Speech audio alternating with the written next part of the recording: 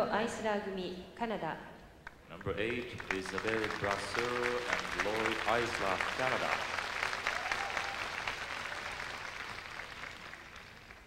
昨日のオリジナル終わって2位のカナダのイザベル・ブラスールロイド・アイスラー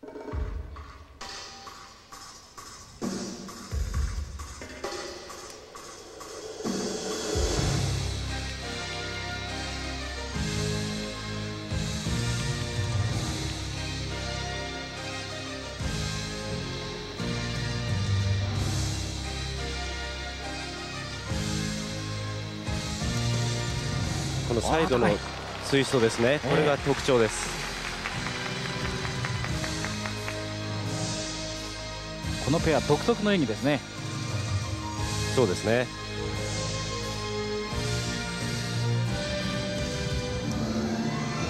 ソロジャンプダブルアクセルダブルアクセルからダブルトーループですね。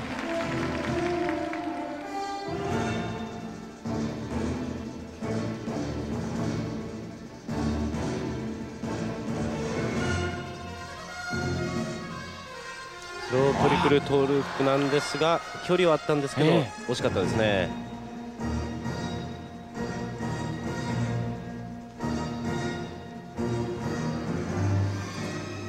トリプルツイストですね。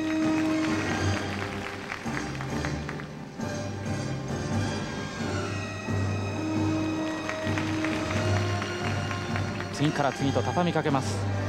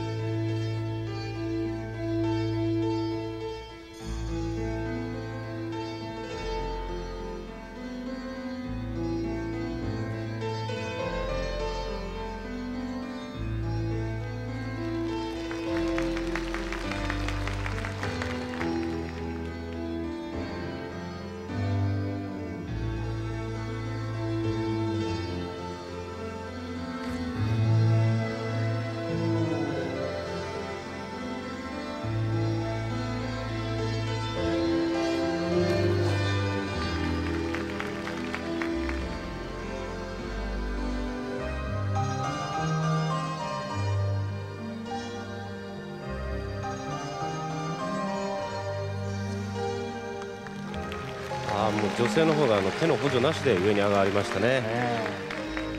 これ難易度としては非常に高い部類に入ります。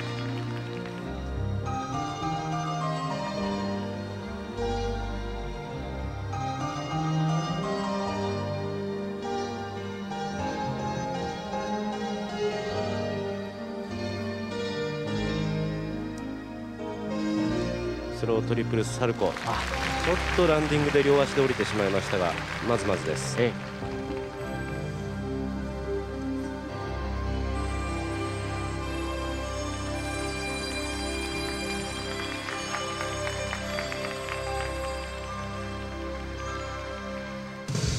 ソロスピンを終えてさあフィニッシュに向かっていきます。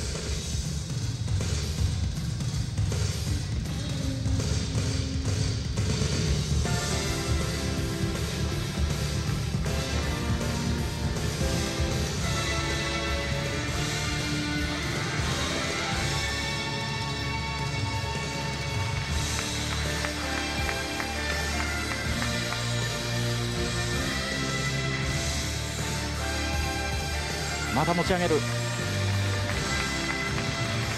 ポジション変更しましたね。さらにダブルツイストを加えて降りてます。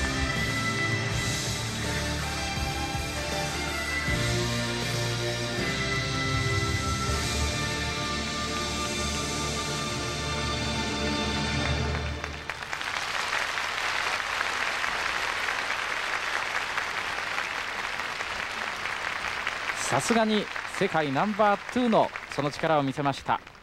カナダのイザベル・ブラスールロイド・アイスラー。まあ、あの途中でですねあのスロートリプルトーループのちょっと転倒はあったんですけれどももうそれを後半で完全に忘れさせてくれましたね。特にスローパートになって何かアイスダンスの雰囲気を漂わせるようになってで場内こう固唾を飲んで見つめるようなねシーンがありましたね。そうですね。なんとなくその、ひ思わず引き込まれてしまうようなね、でその後まあこれでもかという感じであのリフトとか力技が出てきましてね。そうですね。これあのー先ほどの横に横軸方面にこう回転させるツイストなんですけれども練習では3回転完全に回ってましたね。ええええ。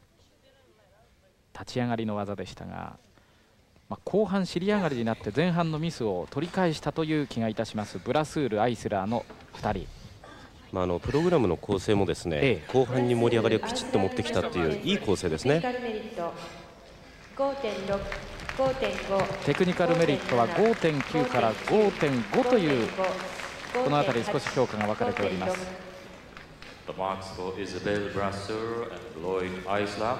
Technical merit.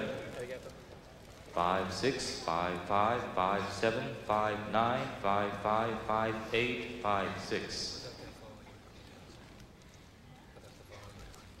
アーティスティックインプレッションアーティスティックインプレッションは5.4万出ております5.8 5.7 5.5 5.8 5.6 Artistic impression 5, 6, 5, 4, 5, 8, 5, 7, 5, 5, 5, 8, 5, 6.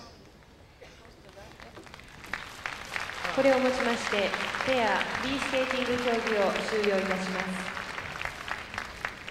this concludes the pairs.